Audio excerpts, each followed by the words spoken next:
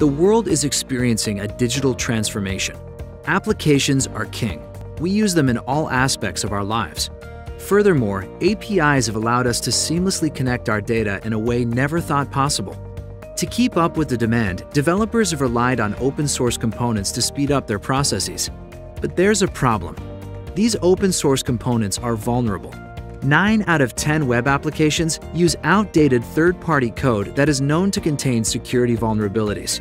This network of vulnerable applications connected through APIs has produced an increased attack surface, giving hackers more entry points to steal your data than ever before. Because of this, vulnerable applications have become the number one cause of all security breaches. So how do we secure our applications without wasting your developers' time?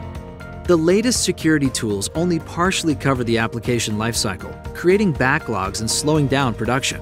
WhiteHat Security's platform of solutions extends security testing across all phases of the development cycle and beyond, from programming to production, finding vulnerabilities along the way and alleviating backlogs. How do we do this?